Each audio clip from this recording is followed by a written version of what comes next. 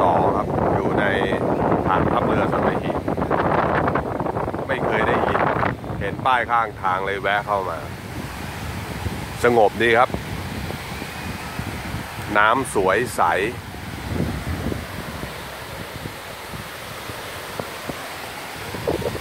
รถยนต์